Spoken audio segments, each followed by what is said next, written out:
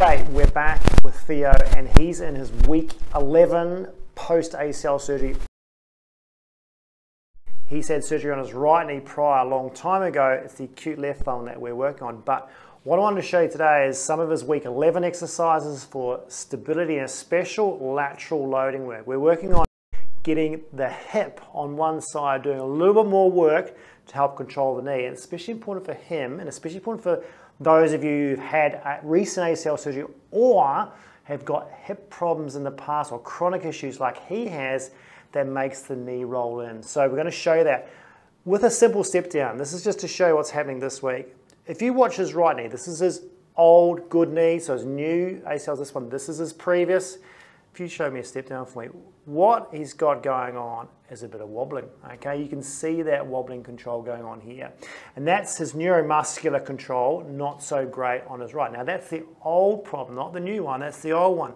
His left ACL is the one we're working on. The thing about this is he's got more quad strength, okay? He's got, he feels he's got way more quad strength in the quads. You can see the size difference of his right quad. His left one's doing great. Like he's built that right back up but not as much as his right. And this one is better. You think, oh, I should be better on this control, but the quads don't deal with knee control. It's the hip. His old programming of having previous surgeries on that and not doing enough rehab has made that chronic patterning not so good. If you look at his left, go to your left one for me, you'll see that his control, although wobbly, is a lot more stable. Okay, Now that's 11 weeks in the program out of ACL surgery, and he's already better than his previous one was right, which shows me that, you know, with the right one, that's an old programming issue. The left one, he doesn't have that because he's a fresh injury on that one. This is a chronic injury, and that shows you what happens with chronic patterning to the brain, to the hip. So he's got to work on his right one just as much as his left one for these type of stability exercises. So he does injury prevention for this one and safeguards this one. So one of those exercises is a skater squat. Now, in week 11, he's putting a band on. Put that on there for me. So what this will do, and if, if, when you're putting a band like this, it needs to be not too heavy. This needs to be like a light power band. That height there, okay, from the anchor point is going to be sort of the same height above the knee um, as, as there. So when he does a skater squat, which is basically a step down with a lateral load that way, what this band is doing is giving him some feedback to help him pull his knee out, stop it rolling in all the time. If that band is too heavy, it's just going to launch his knee inwards. He's not going to be able to fight it. So what he's got to try and do is have this tension enough. And that means maybe stepping towards it, not having the band too tight. As he goes outwards, this is going to light him up in his lateral hip, which is going to help him control his knee. It also, the pull on the band wants to pull him in. He's going to fight that so it helps him tell his brain, okay, I've got to keep my knee out in line with my foot when I do a squat. And the lateral load here of that left leg is going to fire him up in the hip as well. So he's got two things going on. A lateral center of gravity shift, which makes him work hard here and to keep himself over his knee. And he's got a medial pull on that lateral band. That's going to also give him that guidance to try and keep his knee straight. So that's an awesome exercise for him.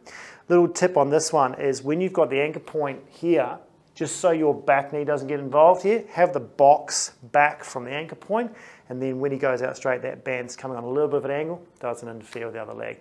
So that's his skater squat. One of those exercises that involves lateral loading is a step up onto a box. Now this precursors the BOSU, which we'll show you in a minute. This one, what he's trying to do is get some strength loading through the knee under control. If you put that foot up on there for me, he's gonna try and step up but what I want him to do is make sure he doesn't step up with his knee over here. Okay, so we don't want his center inside that knee because he's just going to, the load here is just going to force him roll him in, okay, which we don't want. We want him to learn to get the knee over the foot. That also means get his hip over his knee.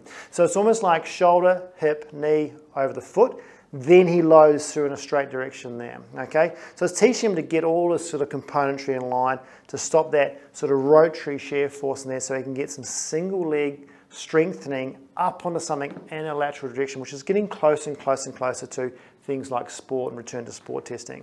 So for him, this is not too hard.